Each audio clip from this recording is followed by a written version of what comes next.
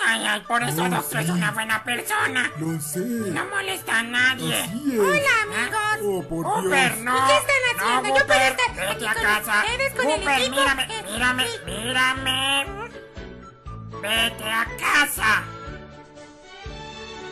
Entonces viene Snorlax hoy y le dice, oye, ¿sabes algo? Creo que a veces soy invisible porque la gente pasa al frente mío y me ignora. Pero serio, ¿saben algo? En serio soy gracioso. Además de ser lindo, gordito y esponjosito, dejando de divertidas. a La otra vez estaba caminando y un sujeto alto de boca grande y me tragó. estuve en su panza, pueden bailando, eso fue el asqueroso. Y luego me escupió y salí volando como un suelo. el Y nadie me levantó. Es que cuando digo una cosa digo otra, es que solo todo hay Creo que definitivamente tengo, no somos tengo unos corazón.